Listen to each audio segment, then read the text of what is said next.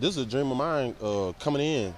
I knew I was going on a business trip, and whether my business trip was going to be three years or four years, that just depends on how, how early I got on the field and how effective I was. I mean, everything. Um, from from giving my brother a scholarship, which was a blessing, to, to me being able to come here and follow in his footsteps and just do what I could do with it. It's just been a blessing.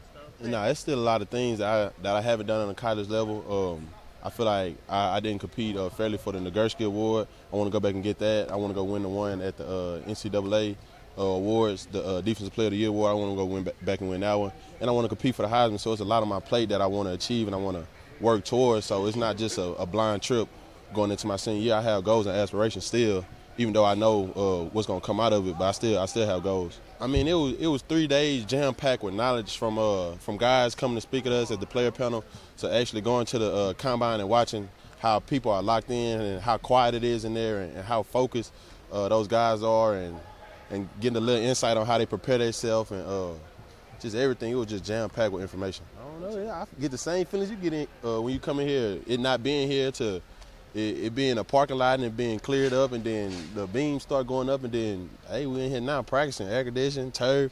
I mean, none of this was here a year ago, so it just it's awesome. How good is your This team good. It's real good. They fly around. Uh, everybody going hard. Defensive backs. Uh, I think that's gonna be a strong point this year.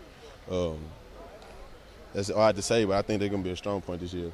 Oh yeah, most definitely. D D line gonna be really good between me, me, Gerard, Isaiah, Zach Vaughn, uh, Payton Turner all those guys got experience on our belt, and uh, it just we just gonna turn up a little notch. What do you feel? Just, just compete against my best self every day. I don't I want to be better at putting myself anything. I just want to be better than myself, better than I was yesterday, and that's a hard thing to do because I go so hard at practice. So being better than myself every day, even if it's just a little, a tad bit, I beat myself from yesterday, so I'm winning.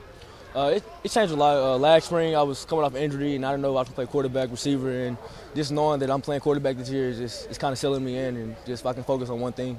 Yeah, I feel like everybody has a lot to lot to get better at, especially me. Um, I only played quarterback last four or five games, so I'm just trying to learn everything Coach Brazos, Coach Applewhite is, is teaching me and take it to the field and, and score some points. And Clayton, uh, Jelon, and Bryson, they all young guys, so me and Mason try to help them at everything and just try to get the grasp of college football and everything's much faster, so we try to teach them that.